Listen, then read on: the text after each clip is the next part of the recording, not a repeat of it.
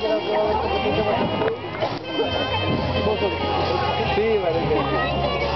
Pista,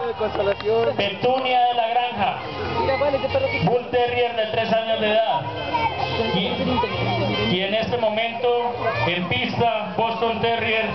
Ariel de la Granja, Cachorro,